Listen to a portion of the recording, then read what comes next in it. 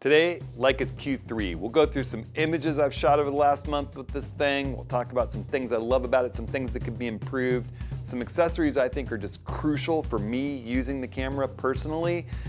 And we'll also, I'm also announcing my complete setup guide and downloadable profiles for those of you with the Q3.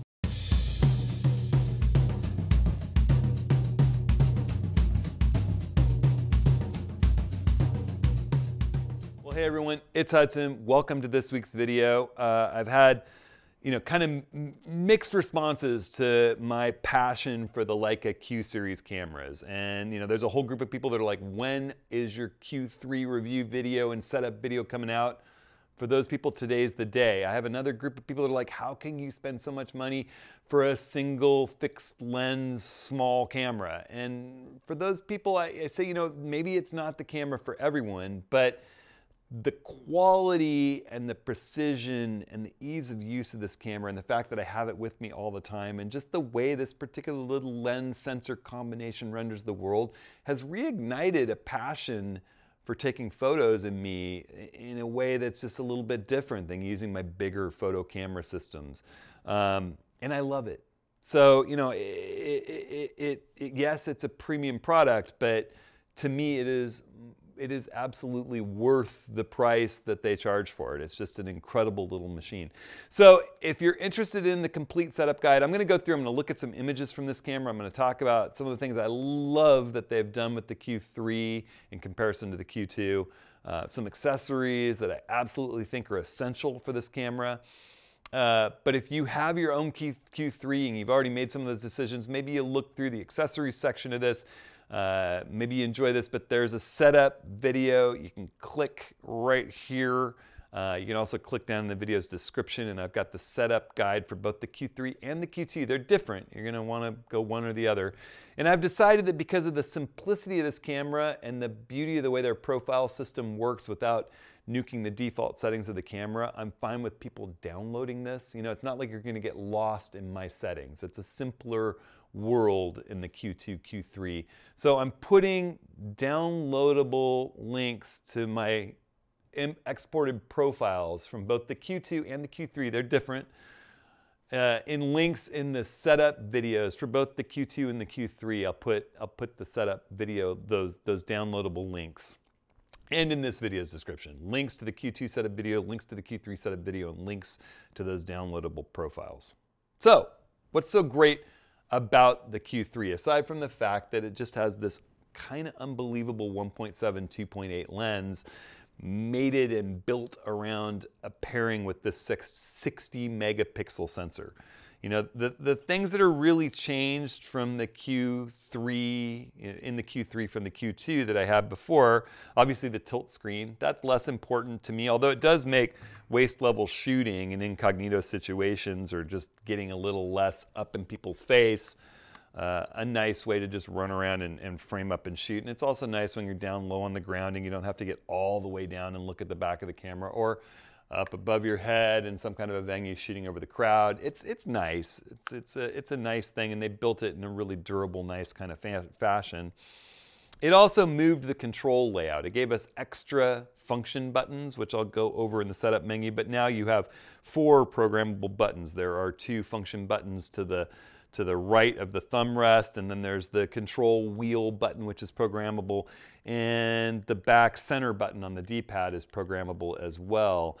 And all those buttons can now access nearly every function in the camera, which actually can be a little overwhelming when you're trying to decide which function you want to pick for it out of a mile long scrollable list. So one of the things I do in my setup video is limit those down to functions that make sense on each button and kind of cover the broad range of functions you might want on those buttons so that you select from a list of five instead of a list of 60 every time you go to change which function that button's doing.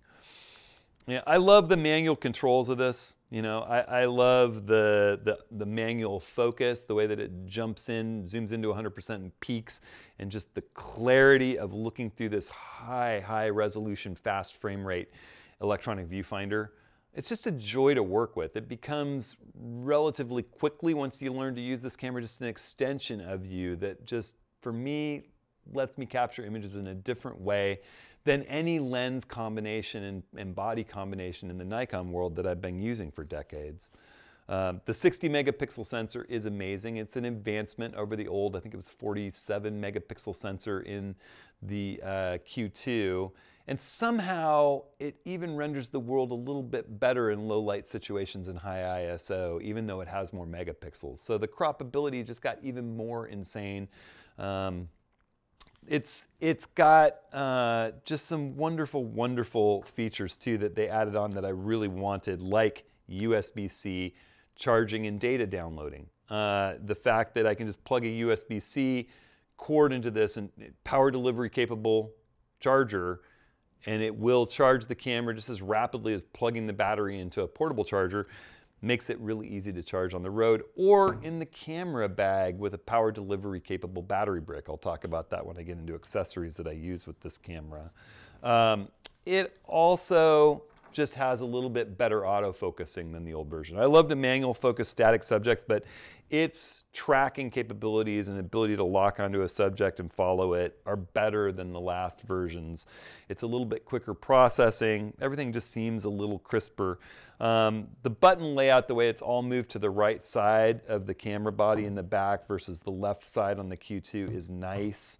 I think the menus have a little bit more modern look. They're a little bit bigger and easier to read and a little bit crisper in their text. Um, I think that one of the great features that they changed on the Q3 over the Q2 is letting you choose any shutter speed down to 120 seconds at any ISO. And the ISO range has been boosted all the way up to 100 ISO. Uh, so you can go down to 50 all the way to 100,000 ISO. And now you can shoot 100,000 ISO at 120 seconds if you so desired. Whereas with the Q2 and earlier cameras, as you boosted the ISO, it limited the duration that the shutter could be open to protect the sensor, I guess, from overexposure. I don't know. But at any rate, now the sky is the limit, literally, for doing night photography.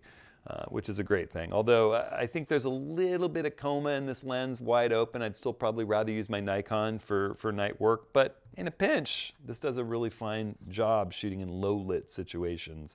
I'll show you a, a really beautiful image, really long exposure, 48 second exposure of a bridge on my Oregon Coast workshop. Um, the sensor is just beautiful. It really is an upgrade, this sensor. Um, I think that's about all that's really changed. Otherwise, it feels really, really similar.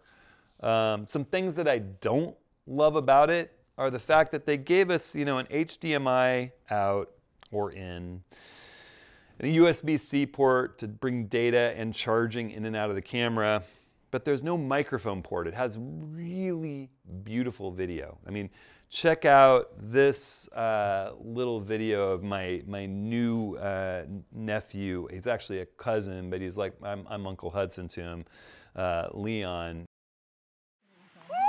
Hey! Hmm.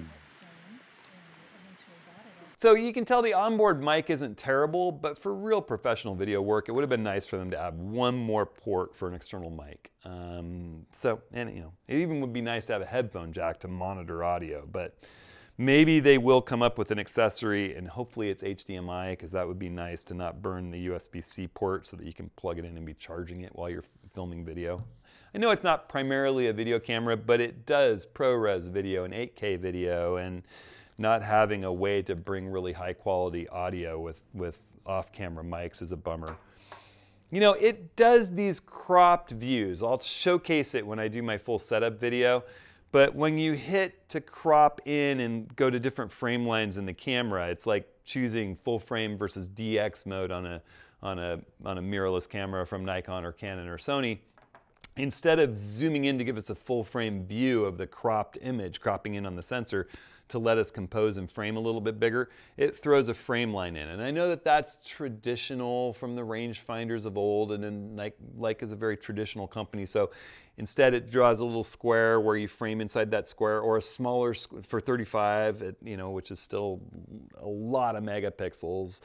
And then you crop down to, to 50 meg, uh, millimeter equivalent. I think at 28 megapixels, you got, or 28 millimeter equivalent, you have 60 megapixels. At 35, you have 39 megapixels. At 50 millimeters, you got 20 megapixels essentially, 19 megapixels. If there's 70 millimeter crop, you get uh, 8 megapixels in it. They're 90 millimeter crop, you get 6 megapixels, so sort of like my old Nikon D70 way back in the day. But, you know, the nice thing is that you can sort of frame using those crop lines. The bummer is that there's no option to have it zoom to that in the EVF and on the back LCD. You're only looking at a little box as you shoot. And I think it would be nice if they gave you an option in the menu, whether you want it to zoom in and fill the frame so that it's easier for you to compose a distant subject. I know it's tradition, but you know, it'd be nice since they've got some things that go against Nikon, or I mean, since against Leica's traditions with autofocus, for example. Maybe they give us uh, a zoom into the crop lines as an option too. So that's just a kind of wish for a future firmware update. Um, I think it'd be nice, the, the, the control layout, you can custom program all of these four buttons, the function one, function two, thumb wheel, and center button to, to, to only do certain functions like I talked about. It's kind of a process of elimination. I only want these options when I long press that button to switch options. Sadly, the, so you can do that in, in your photo shooting that can be programmable one way. When you flip it into video mode, you can program those buttons completely differently. Uh, and that's cool. I show that in the, in the setup video. Sadly, the, the, the profiles, when you create profiles for the camera, those profiles cover both video and still shooting. It'd be nice if you could have separate profiles for video shooting as from separate profiles for stills. I know a lot of my complaints are video related and you know a lot of people aren't buying this as a video camera, but it's a very beautiful and capable video camera, as those little examples I showed uh, showed. And the other thing that's a bummer to me is not at all, well, it's, there's a little bit of Leica's fault, but for the Q2, Really Right Stuff made a grip L bracket that put an Arca dovetail on the side of the camera, below the camera, and a QD port for using my favorite strap from Luma Labs with the QD port connection. Um, they're not planning on making one for the Q3. If you have a desire for one, it was just an amazing L bracket. It worked so well, it fit so well with the camera, it created such a nice grip. The battery and memory card were still accessible through the base of it. Um, but they didn't have enough demand, I'm guessing. Uh, so, you know, they said that they'll monitor demand. If enough people call in, they'll consider making one, or if enough people email or call them. Uh, but right now, they have no intention. And I find this camera very difficult to use without a grip. Uh, I've looked at some of the grips out there. I, it, none of them sort of fulfill all the features that I want with an L bracket and a QD port. The Leica grip that's a wireless charging grip, which is pretty darn sweet, um, doesn't have an Arca Swiss plate attachment. I really wish that at least the base of it were Arca Swiss. It doesn't have QD, it doesn't have Arca Swiss. It also blocks the battery and the memory card ports. It's easy to take on and off, but that's really less of a big deal because of the power delivery capable charging. You know, it, it takes a minute to switch batteries if you need to in the field by pulling the grip off. Uh, but the wireless charging to me makes it worth it. I really do dig that. So it's kind of a kind of a, a, a, plus and a minus. One thing that is not suffering in this camera one bit is image quality. Let's jump over and I'll go through some images that I captured with this camera and then I'll talk about the accessories that I just find critical for use with it. All right, so I haven't had the Q3 that long. I haven't been shooting it with that th with it that long, but you know, I have been shooting for quite a while with the Q2. Uh, and, and, I knew some things I wanted to test, some things I wanted to see with the Q3. And I've had an opportunity, I've taken it on my uh, Oregon Coast workshop a couple of weeks ago here. And, and, I'll share some of the results and why, I, why I'm more than happy uh, upgrading from the Q2 to the Q3, despite the fact that there's nothing wrong with the Q2. But that 60 megapixel sensor, you know, my, my first question was, is the, the, the 28 1.7 lens that they've been using on the Qs from the beginning really capable of handling that 60 megapixel sensor. And I will just say, absolutely, you know, I, I wanted to shoot wide open into, you know, complicated backlit scene uh, and, and, and have a look in high contrast at how it handled it. And here is just, you know, straight out of the camera. If if I open it up in develop here, we can close down our left panel. So we get a little more room. You know, you can see it's like, it's a pretty high contrast scene with this sky back here.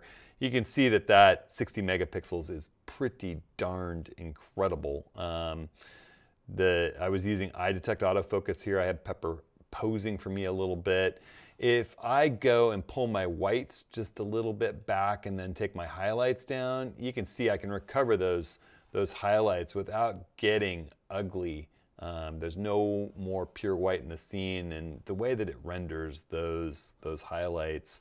At the same time, you know, you can go ahead and, and pull your shadows up a little bit. If you wanted to use Lightroom's masking, you could grab your subject and just say, let's pop my little girl Pepper up just a tiny bit in exposure, just a tiny bit in shadows, and then maybe boost contrast on her just a little tiny bit. Um, boom. Crazy, huh? It did, it did put the highlights in her, back in her hair. I can pull those back out so that we're not quite as blown as before. It's just the way it renders is beautiful and the files are deep and very, very dynamic. There's lots of dynamic range, ability to capture highlight and shadow, and it just looks beautiful doing that whether you're in black and white or color. And this is using, you know, that, that, that standard sort of uh, metering, not the highlight weighted. You do the highlight weighted, you'll have darker shadows. The, the, the standard sort of multi-field metering in the Q3 really focuses in on people and subjects. Um, and it'll let the highlights go a little bit, and that's not necessarily a bad thing with this camera. I just love the way that it exposes people in that standard sort of metering mode. Yeah, this was at night. I linked it up lickety split with my Leica Photos app on my phone. I'm using an Android. I use the Pixel 7 Pro, and I was remote controlling it, sort of holding it in my hand during reading time at bedtime. And Pike was looking into it, and I focused and shot from my phone. And, and one of the reasons I throw this in here, if I pull up information on this, is ISO 1000. This is straight out of camera. And I'm just kind of blown away how this 60 megapixel sensor uh, is, is dealing with high ISO. That's a pretty clean high ISO image. And you can see, you know, there's a little bit of noise, but it, it's almost filmic in the way that it renders noise. And just to go into that with a little, a little more testing, you know, here's 6400 ISO. We were at a, a, a house concert. Uh, one of our, one of my wife's uh, patients actually threw a little concert in his home not far away and we went in the evening and I don't know this gentleman but he was sitting in front of me and the light was nice and he looked entranced by the music. So you know, I'm going to jump into develop, and, and, I have a few different versions of this. This is this is just straight out of the camera, um, and you can see that at 6400 ISO, that 60 megapixel sensor is rendering some noise. But I think you can see what I mean about it being a little more filmic than digital noise. It's it's not a bad noise. Look at those books on the bookshelf. Um, here's what happens if I do a little bit of, of manual detail editing, you know, just jumping into the detail panel, pulling sharpening, pulling masking. I always like to use the masking slider while I'm holding down the option key to sort of say, I, I don't want to be sharpening the noise in the image. I really want to only be sharpening the detail edges that matter to me in this particular scene. So I can sort of be able to crank up sharpening without sharpening the noise that's in the image. And then do some noise reduction. Again, I hold down the option key to not see the color while I'm doing that. And then, you know, going in and doing just a little bit of masking of him and of the background scene and some exposure work. This is just a straight up, you know, doing all manual controls in Lightroom. I also ran it through Lightroom's incredible you know, denoise algorithm. Let's just jump back into our um, jump back into our, our full view here and have a look at this at 100%. So this is letting Lightroom demosaic this with an eye towards reducing noise uh, while maintaining detail and then just doing a little bit of exposure adjustments with the sliders. And I mean, man, that's pretty incredible for 6400 ISO on a 60 megapixel sensor. And I think that Lightroom's new denoise algorithm is just fabulous. And again, you get to that in the develop panel. Um, you, you go up here and we're in develop here. And instead of, um, you know, in the manual mode, you click this denoise. We've already applied it to this photo. It creates a brand new enhanced noise reduction DNG file. So that's what that's what the second file. If I go back to my grid and I look at this, you'll see that this is the file I did manually. And right next to it, this is the file I did, um, oops, I did with denoise. I hit crop there. There's a little crop applied too. So if we go back and forth, and if I zoom in, not bad, but wow. Um, this sensor's capable of great things at high ISO. You know, just the way the sensor renders things. You know, this is at my mom's farm with the kids and her really tame pet llama, Patty, that she bottle raised, and Pike playing with a piece of bamboo in the woods. You know, just that that amazing, amazing, everything being sharp that you want and the way the focus falls off. It's just a special lens. Um, you know, I'm using uh, my field um, um, focusing because I, I, find that when kids are moving and active using the, the face eye detect can kind of hang up when, when I can press the button. They wants to get a perfect lock on the eye and sometimes I'm trying to hit it for that decisive moment it won't clip. So I tend to use eye and face for real portrait setups where it's static, um, working with the subject. And then I did a little tracking testing. The autofocus is tracking significantly better than the Q2. They're upgraded um, autofocus uh, sensor detection and their faster processing in the Q3 really have added up to, to, an ability to track subjects better. Here's Pepper and Patty cruising toward me um, at f5.6, you know, definitely having to track on Pepper's eye or track, I had her on the tracking box, not so much eye detect, but the, the tracking, um, doing a great job there. And what a fun image. I wish I hadn't clipped uh, Patty's ear. I might have to use some of uh, Photoshop's uh, amazing new content uh, aware fill, that AI fill. Just, you know, I mean, there's something special about the way this little 28 millimeter renders scenes. This is on a little hike with Pike and Pepper's friend Ransom. And, you know, throwing it into that, that field mode and putting it on Pike's face 28 millimeters, it just nails it. And then uh, I really had a chance to put it through its paces on our Oregon Coast workshop. Here's, here's my buddy uh, and constant workshop attendee, one of my one of my favorite people to see show up on workshops, Gary Sharlock, uh, at the uh, at the Yaquina uh, Head Lighthouse near Newport where we had our workshop. And, you know, one of the things I love with this camera, I talked about it, uh, you know, at the desk is the, is the ability to zone focus. You know, you set F11 and you put the infinity symbol right on uh, uh so that so that the, it's on the marker for F11 or just a little inside it and you'll get as close a focus as possible all the way to infinity all in focus and that's how you get these tiny little rocks on this beach all razor sharp and in focus at the same time as the lighthouse and the people around the lighthouse. I don't even need to manually focus with peaking or autofocus. I just set that gauge on the lens with the with the hyperfocal distance gauge and boom, you're locked in, you know.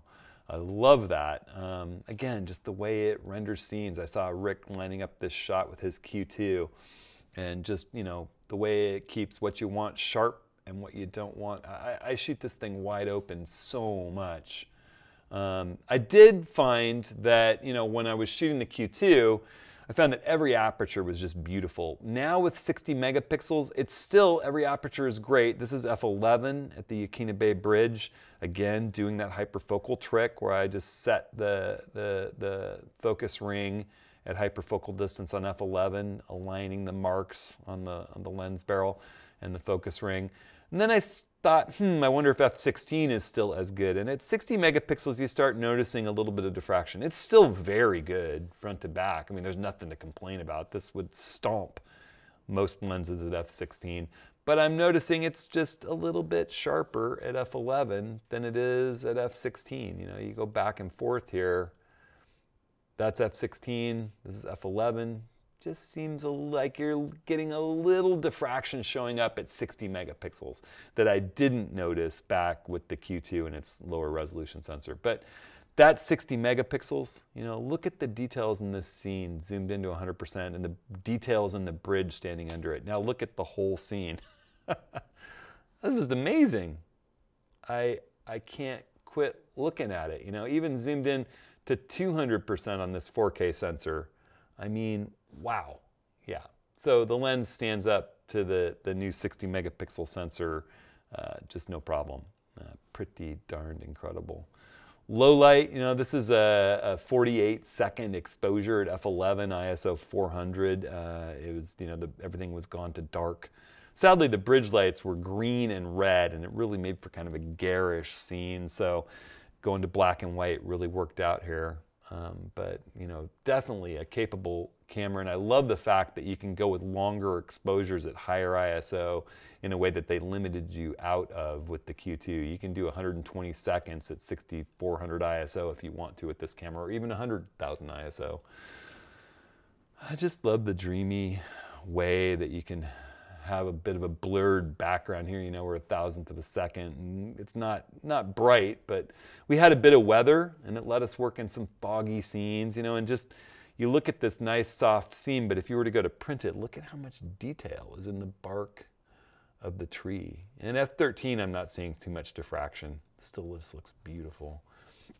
The macro mode comes in so handy. Just flip that ring to macro just like the other Q cameras and it bumps the lens out from the body and gives you a completely different depth of field gauge. Love the way that shoots scenes, 28 millimeters at, you know, f2.8 becomes your maximum aperture when you bump out, but it's just an incredible little macro machine when you start working with it. We went to Thor's Well and I set it up on a big tripod with the universal L bracket from, uh, from Acratech and my Kirk, um, my Kirk Arca Swiss plate and shot Thor's Well with it. 28 millimeters was really, really a nice way to shoot that. We'd gotten it dialed in. We knew exactly when the tide was going to be right and when the wave height looked like it was predicted to be right. We got the group there on a wonderful, wonderful day to be out there photographing that. And then later that evening, we had been out scouting at the Heceta Head Lighthouse, one of the most beautiful lighthouses and uh, looking at different positions. And then that evening, after we photographed Thor's Well, we went to dinner in, Thor, in, in Florence as a big group and then went back to Heceta Head. And you could tell the clouds were lining up just beautifully. And having scouted, I knew that 28 millimeters would be all I needed. And I ran up to this lighthouse and just handheld this shot. Um, you know, it's at 28 millimeters, everything in this scene is pretty much at infinity from me. I stopped down just a little tiny bit for the, for the grass and the bushes in the foreground but I think you can see there's plenty of detail. You can even see Seal Rock back there, or, or Seal, Sea Lion Caves way back there in the background, and a bird off in the sky as the beach rolls around down towards Florence. Just a beautiful evening, and this little camera can create some pretty epic 60 megapixel images for you. So uh, I'm more than happy with the performance out of this sensor, lens, and the way that this camera handles and works. All right, so really quick rundown. I'm gonna put links to all of these accessories in this video's full description. You can just click on the title or show more on the video and it'll drop down. You can see a chaptered out table of contents uh, along with links to the setup video, the downloadable profiles, and all of these accessories. I tried Leica's button. There, there's a little threaded capability of putting a, a soft touch button on the shutter release on this camera and it seemed to me too tall and a little awkward looking on the camera. Uh, plus it was $70. And I ordered this set of three shutter release buttons for, I think, were they $12.95? I have it written down here. Um, $12 for three of them from Amazon and it comes with a brass and a black and a silver and I just I really like the way the silver button looks and feels on the camera better so I sent that Leica $70 one back. Um, again, I really like the wireless charging grip. I know they're in limited supply. They'll be coming into stock. They work great in conjunction with Native Union's wireless QI charger. Uh, all I do is set the camera down here, sort of just a little off to one side. It's not dead center, and you'll see a green light on the back start flashing as it charges and it goes solid. It's flashing right now, charging goes solid when it's fully charged. It's a really nice way to charge your camera. Now, Native Union makes Leica's branded charger too. It says Leica Wetzlar uh, on the front. The Leica version costs $175. If you go on Amazon through the link in this video's description, The exact same one from Native Union is 70 or no, $80 on Amazon. So it, the only difference is it doesn't say Leica and there's a little dot on the center of each charger side. There's, it's a dual charger. You can also charge your phone and your headphones on it when you're not charging your camera.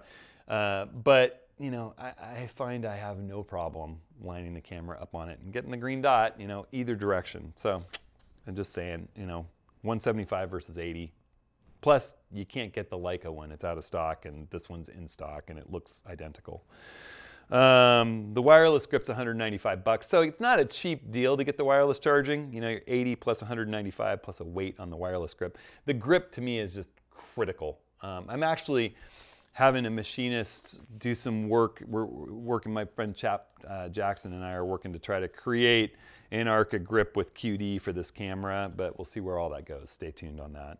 You know, one thing I think is absolutely essential, the Leica comes with this little metal cap. And when it's brand new, it's felt lined and it fits nicely over the little um, metal hood that threads on the front of the lens.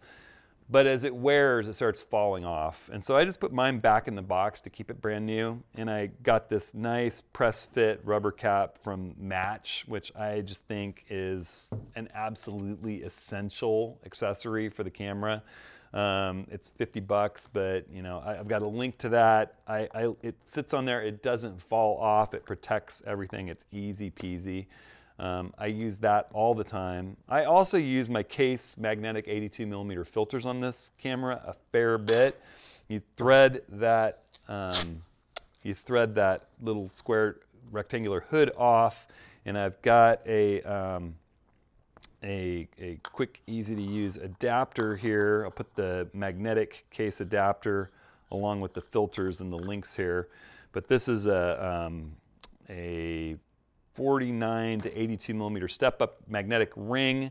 And I've got it set up in here with a magnetic cap and a polarizer that just spins right on the mount. Easy to use, doesn't need to be thick. You don't have to worry about vignetting with 82 millimeters on 49 anyway. And then in this little case, I have three, six, and 10 stop neutral density filters, really nice neutral, neutral density filters. You can throw all three of them if you desired on there as easy as that, or pull the 10 stop off and have the three and the six for nine, or just to use the three, simple as that. The system is so easy. The cap is simple to throw on there it just works great. And sometimes in brighter conditions when you want that ultra wide aperture, um, it's just nice to have polarizing, you name it. Uh, I, I, have those with me when I have the camera and it's as easy as threading that off and threading that 49 to 82 adapter on there. I still like to use big filters. Plus, most of us probably have more cameras than just the Q2 or the Q3. You know, if you really want a smaller set of Kase filters, um, those I sell directly through my store. And if you want a whole set for your Leica, hit me up. You know, we can work on that, or I can provide you links to other sizes. But 82 works great, and then it's super, super uh, easy to use with other cameras. I've been using it in this Think Tank uh, mirrorless mover 10 case with its little uh, match cap. It slips in there just perfectly. There's a magnetic closure plus a zipped closure. The bag comes with a little waterproof cover. It's got a nice shoulder strap. It carries really well. It's adjustable. And then it's got some cool little accessory pockets and things, uh, obviously.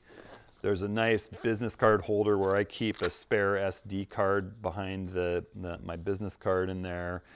There's a front pocket and in there I've got a lens cleaning cloth, a few things, a spare battery. The spare battery is expensive, but I think it's a little bit cheaper than the Q2's spare battery was. I have no idea why. They're interchangeable, but you get more battery life out of the new one that came with the Q3. So I keep that up front in this little pouch.